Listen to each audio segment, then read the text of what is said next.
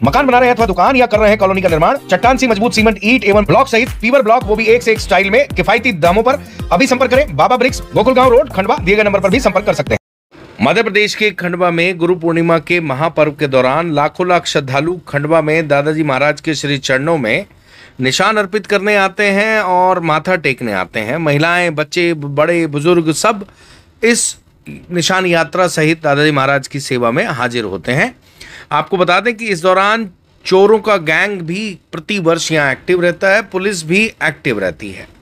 Police की कई टीमें इस पे काम करती हैं, साइबर की टीम काम करती है और खुफिया यानी सिविल ड्रेस में पुलिस चप्पे चप्पे पर तैनात रहती है। आप देख सकते हैं दादाजी महाराज के मंदिर में किस तरीके से भीड़ है और मंदिर परिसर के बाहर भी बहुत ज़्यादा इसी तरीके से भीड़ रहती है।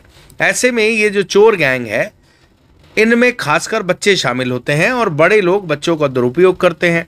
बच्चे ऐसे बड़ी जो महिलाएँ हैं, वो ऐसे लोगों को आइडेंटिफाई करते हैं जिन्होंने अच्छा खासा गोल्ड पहन रखा होता है, खासकर महिलाएँ।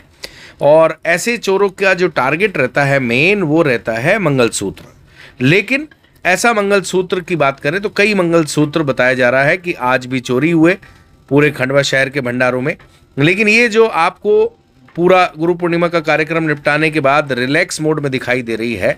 ये दरअसल खंडवा पुलिस की टीम है जो सिविल ड्रेस में जगह जगह लगी रही और इन्होंने मेहनत से कई बच्चों को पकड़ा है। बताया जा रहा है उनके पास से मंगलसूत्र भी बरामद किए जो उन्होंने चोरी करने के बाद जो तुल भवानी माता का मंदिर है, उसकी बैक साइड में ग्राउंड है, वहाँ पर एक पेड़ के नीचे गुटके पाउच की थैली में बाँध कर दबा कर रख दिए थे। पुलिस ने, बताया जा रहा है, बच्चों की निशानदेही पर वो बरामद किए हैं और बड़ी बड़े जो इनके, खासकर इनके जो परिजन रहते हैं माता पिता रहते हैं, वो चोरी करते हैं, फटाफट बच्चों को देते हैं, बच्चे गायब हो जाते हैं।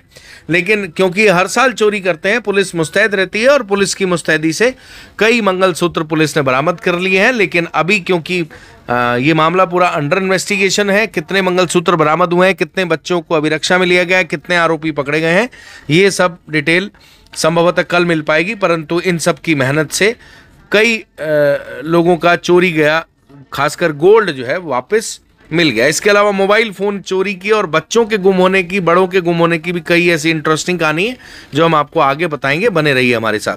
मकान बना रहे अथवा दुकान या कर रहे हैं कॉलोनी का निर्माण, चट्टान सी मज़बूत सीमेंट, ईट एवं ब्लॉक सहित पीवर ब्लॉक, वो भी एक से एक स्टाइल में किफायती दामों पर अभी संपर्क करें। बाबा ब्रिक्स गोकुलगांव रोड, खंडवा, दिए गए नंबर पर भी संपर्क कर सकते हैं।